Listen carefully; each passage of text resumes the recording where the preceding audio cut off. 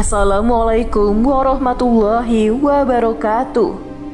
Halo sahabat kanal Sejarah Islam. Kali ini kita akan membahas Laksamana Cheng Ho, penjelajah muslim yang pernah terlibat perang di Jawa.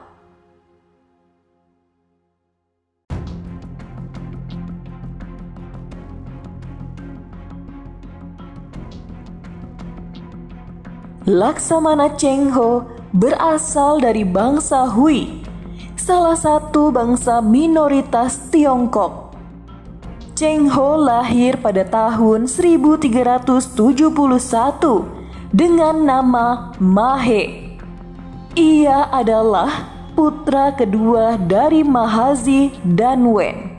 Cheng Ho masih keturunan bangsawan Persia ia adalah cicit dari Sayyid Ajal Syams al-Din Umar, seorang berkebangsaan Persia yang memiliki posisi strategis di Kekaisaran Mongol.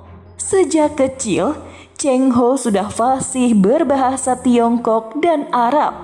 Ia belajar pada ayah dan kakeknya.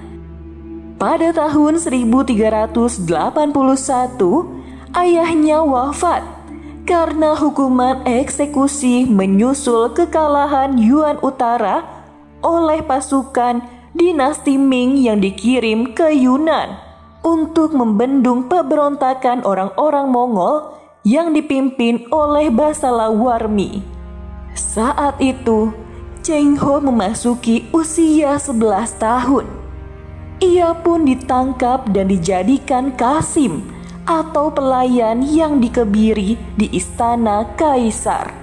Ia menjadi pelayan khusus Pangeran Zudi atau keempat kaisar. Pergaulannya dengan pangeran membuat Cheng Ho menjadi pemuda yang tangguh. Ia mahir berdiplomasi serta menguasai seni berperang.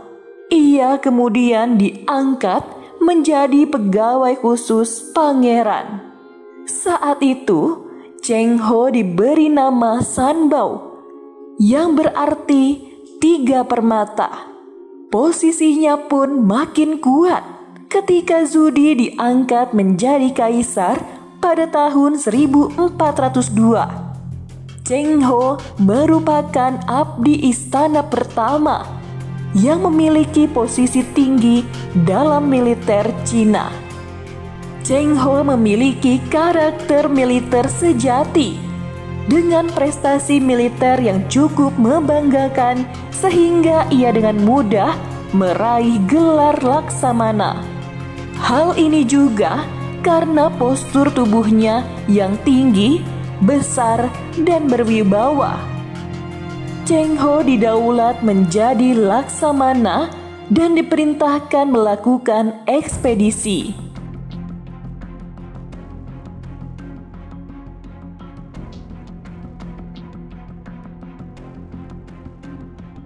Pelayaran Laksamana Cheng Ho ke Nusantara terjadi pada abad ke-15. Tujuannya untuk perdagangan dan mempererat hubungan antara negara Tiongkok dan negara-negara Asia Afrika. Banyak dari anak buah kapal Laksamana Cheng Ho adalah Muslim, seperti Mahuan, Guo Chongli, dan Hasan Saban, dan Pu Heri. Mahwan dan Guo Chongli pandai berbahasa Arab dan Persia. Keduanya bekerja sebagai penerjemah. Cheng Ho mengunjungi Nusantara atau Kepulauan Indonesia sebanyak tujuh kali. Ketika singgah di Samudra Pasai, ia menghadiah Sultan Aceh sebuah lonceng raksasa Cakradonya yang hingga kini tersimpan di Museum Banda Aceh. Pada tahun 1415, Cheng Ho berlabuh di Muara Jati atau Cirebon dan menghadiahi beberapa cindera mata khas Tiongkok kepada Sultan Cirebon. Salah satu peninggalannya, sebuah piring keramik yang bertuliskan ayat kursi yang masih tersimpan di Keraton Kesepuhan Cirebon. Dalam perjalanannya melalui Laut Jawa, Wang Jinghong atau orang kedua dalam armada Cheng Ho sakit keras. Wang akhirnya turun di pantai Simongan Semarang, dan menetap di sana. Bukti peninggalannya antara lain kelenteng Sampokong atau gedung batu, serta patung yang disebut Mbah Ledakar Juragan Dampo Awang Sampokong. Cheng Ho juga sempat berkunjung ke kerajaan Majapahit pada masa pemerintahan Raja Wikramawardhana. Anak buah Cheng Ho sempat terlibat perang antara Majapahit Barat dengan Raja Wikramawardhana dan Majapahit Timur dengan Raja Brewirabumi.